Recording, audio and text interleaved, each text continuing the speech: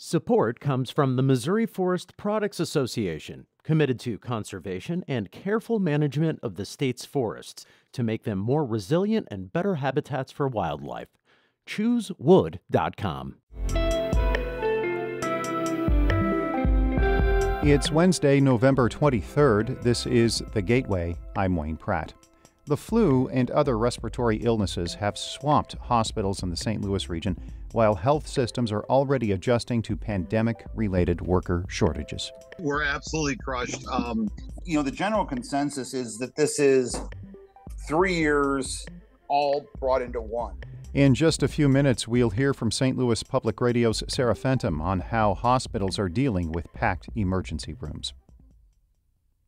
St. Louis, St. Louis County, and the board that oversees the Dome at America's Center have agreed on how to divide more than $500 million from the Rams departure settlement.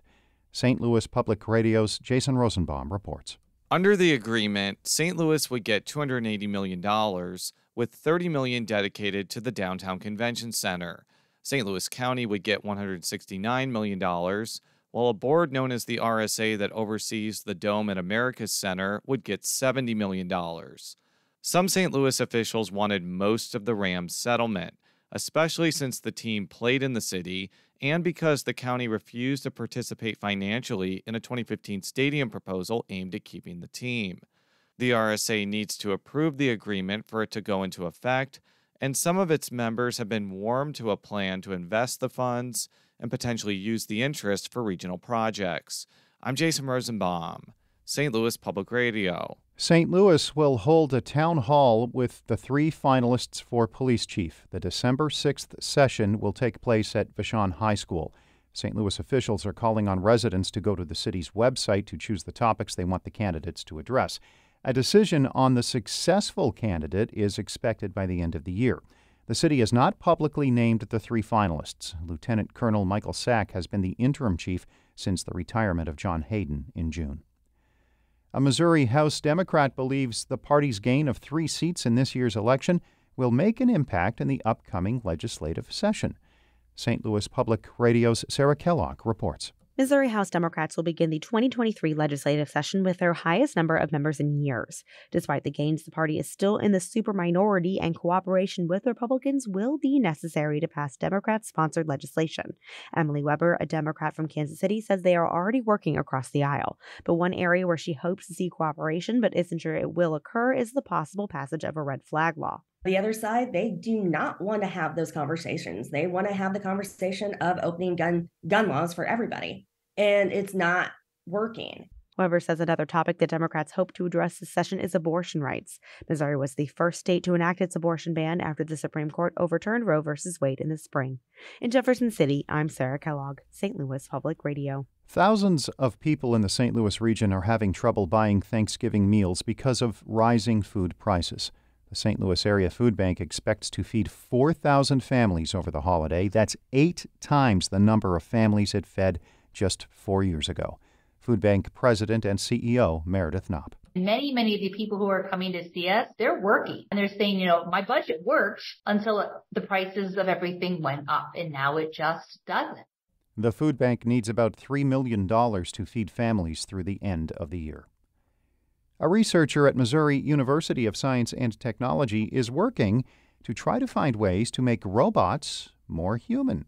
St. Louis Public Radio's Jonathan Ahl reports.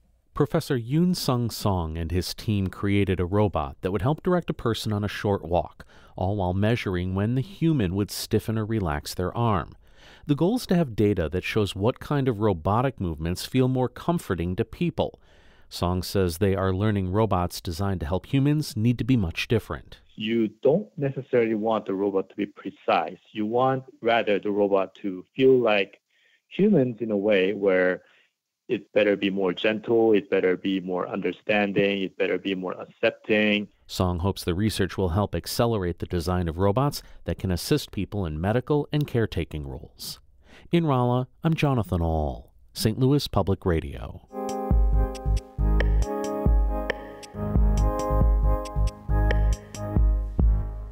Hospital workers in St. Louis are on high alert as people gather for Thanksgiving. Emergency rooms are already crowded with people suffering from respiratory illnesses.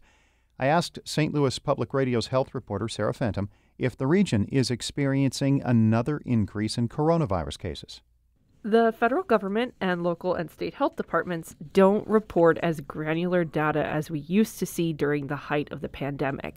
Instead, you've probably heard of what the Centers for Disease Control and Prevention calls COVID community levels. There are two measurements. The first measures the amount of coronavirus cases in a given place and combines that with hospital capacity and admissions. In St. Louis and St. Louis County, that level is at a medium risk. But when you look at the second measurement, community transmission, we are in the red high level.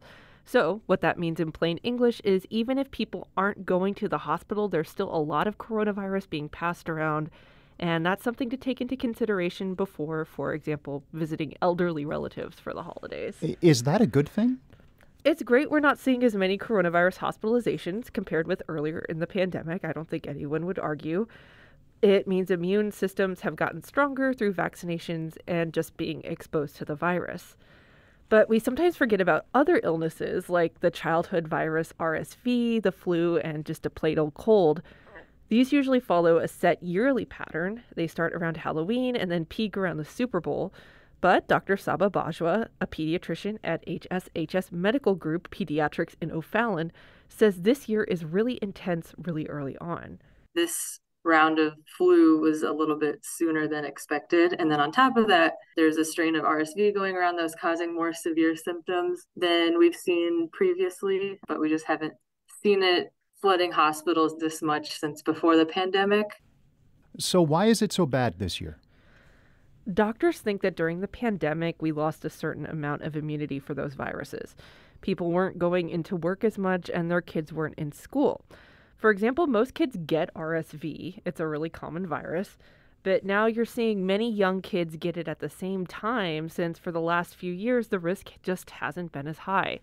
Here's Dr. Howie Mell, who also works at HSHS in the St. Elizabeth's emergency room.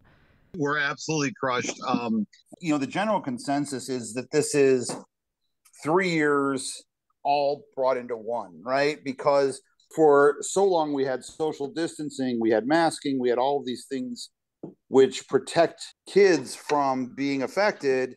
Um, and we kind of let them all loose at once. And this swell is coming right as hospitals are dealing with a lot of health workers leaving the profession. So, how are hospitals handling it? What I hear from a lot of people is they're dealing now, but they're worried about what the next months could bring. A lot of health workers have dealt with an increased workload since the pandemic started. And nurse Sarah DeWilde, who's a steward for the SLU Hospital Nurses Union, says a lot of workers felt like they weren't getting paid enough to keep them at such a demanding job. Nurses have finally given their notice. They're like, hey, like, look, we're not willing to put up with this we deserve to make more money for what we're doing because in every job, if you were to take on more responsibilities, you would take on more money, right? So the staff that's left has to absorb this big increase in patients with respiratory illnesses. That's why they hope this current spike in illnesses isn't going to get worse. But as we've seen in the past, when people get together for the holidays, that's when we see a lot of spread. St. Louis Public Radio's Sarah Fentem with an update on how hospitals are coping with a rise in sick patients at this time of the year. Thanks, Sarah. And thanks to our David Casares for his help in putting together all that information. Before wrapping up, St. Louisans are rooting for two members of the United States men's national team with local ties during the 2022 World Cup, which is underway in the Middle East. St. Louis Public Radio's Brian Munoz reports. This was the scene at Amsterdam Tavern in South St. Louis when the United States men's national team scored its first goal against Wales earlier this week. Two St. Louis natives are playing on the U.S. team forward Josh Sargent and center back Tim Ream. The O'Fallon, Missouri based St. Dominic High School alumni both later on went to play professionally in England. Ream most recently with Fulham FC of the Premier League, and Sargent with Norwich City of the Championship League. Billy Holly is a general manager at Amsterdam Tavern.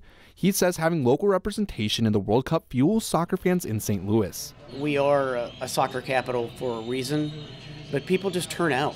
And even more so, you have two local players, so people are more vested. The United States will continue group play on Friday as they take on England at 1 p.m. I'm Brian Munoz, St. Louis Public Radio. And I'll point out that Canada plays its first World Cup game since 1986, today against Belgium. If I did not mention that, my high school friends would likely cut all ties with me.